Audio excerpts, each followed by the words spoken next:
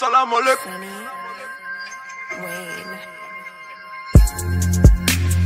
Dougou Sirabi. Salam alaikum, salam alaikum, sama gars bienvenue sur Rap 221 la vitrine du hip hop Galsen MBT ngay am sur la vitrine du hip hop Galsen comme chaque semaine rek nu ma leen ko waxoon rek semaine bu nekk dañuy ñëw jox leen info yi nga xam ne am na ci hip hop Galsen ak rumeur yi nga xam ne am na ci hip hop Galsen les infos et les rumeurs loolu la tudd quoi ñu ngi ñëw léegi jox leen vidéo yu génn clip yu génn ah son yu génn concert yi nga xam ne rappeurs yi ñu ngi koy waajal ñu jox leen info yëpp ak rumeurs yi nga xam ne am na ci hip hop Galsen léegi léegi sama gars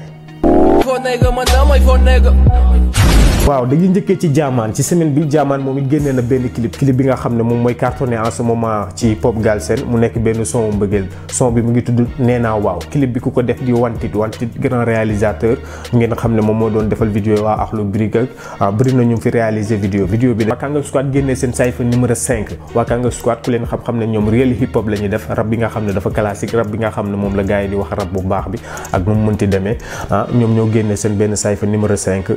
boo leen demee ci YouTube bi di ngeen ko am ba waa ci semaine bi am nañ ci Hakill Hakill génnee benn son bu tudd Umina Umina nag mu ngi ko defee woon ci série bu ñuy wax Golden foofu la ko defee ci la génnee son bi son bi nag ku def prod bi kal la Omzo Beat Omzo Beat mi ngeen xam ne ndaanaan boobu noonu xam ne dafa aay ci beat moom moo moom moo prod son boobu noonu gay ex membre Buzz Lab moom tamit génne na euh, benn son bu tudd lépp dina leer lépp dina leer nekk benn son ego trip di fay foo moom it génne na benn extrait bi nga xam ne ci albumam bii di ñëw ci la bokk mu tudd si la bokk si la bokk ku def clip bi Wii Falaak la Wii Falaak grand réalisateur moom tamit. waa ci semaine bi tamit gis nañ ne rab bu jigéen bi yëngatu na bu baax a baax a baax am nañ ku naan Black Queen Black Queen moom it génne benn freestyle bu tudd comeback freestyle ah mu def benn comeback ñëw def freestyle bu nice te Sokh moom it génne na benn son bu tudd Road to Redemption mu nekk benn clip bi nga xam ne nice nañu gis ay te Sokh tamit wane qualité mën rap ah son bu son bu high. son bu son bu cool waaw après Aïda Soko da ngay am tout ça tout ça moom mi ñëw génne benn clipam benn vidéo bu tudd Davis Work ah, mu dal ci ay artistes mu dal ci ay animateur ku mel ni Waydi dal ci ku mel ni Nit Dof mu dal ci ku mel ni OMG classe leen wax leen ay dëggam bàyyi ko foofu noonu mais tamit tout ça il fallait tamit mu mettre tamit remix parce que son bi du son son bi tamit titre bi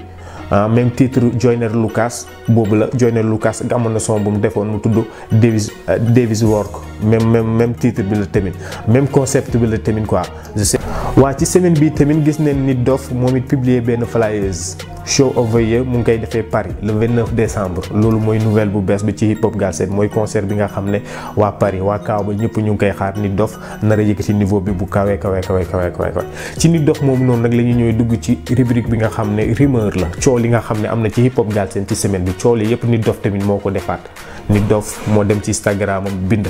foog xapis foog xuumay kër foog di foog di jëtaal foog ñëpp ñi nga xam ne ñu ngi koy jéem a boycotté nit dof moo defati loolu lan moo tax mu ne foog xapis parce que xapis moo ñëw wax ne dib mooy number one rumeur yi loolu la wax rumeur yi mooy ne loolu moo tax mu ne foog xapis foog Koumaker on sait pas foog digital parce que digital daf ko boycott boycotté ci ban côté peut-être dafa invité ñoom Simon invité ñoom ñëpp invité wuñ ko peut-être loolu loolu lay wax boycotté loolu mooy rumeur bu nga xam ne am na ci semaine bii nii quoi loolu mooy rumeur yi waxuñ ne loolu moo tax dañ ne rumeur yi loolu la c'était ça sama gars yi Galsen MBT nga doon am sur la vitrine du hip hop Galsen chaque semaine rek semaine bu nekk rek da ngay am info yi ak rumeur yi nga xam ne am na ci hip hop Galsen lépp la ñu ñëw jox la ko ci hip hop Galsen ba beneen yoon sama gars yi à bientôt sur Rap 221 la vitrine du hip hop Galsen jaajëf